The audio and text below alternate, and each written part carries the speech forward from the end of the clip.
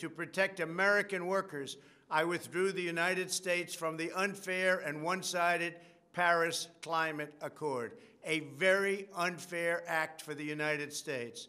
The Paris Accord was not designed to save the environment, it was designed to kill the American economy. I refuse to surrender millions of American jobs and send trillions of American dollars to the world's worst polluters and environmental offenders. And that's what would have happened.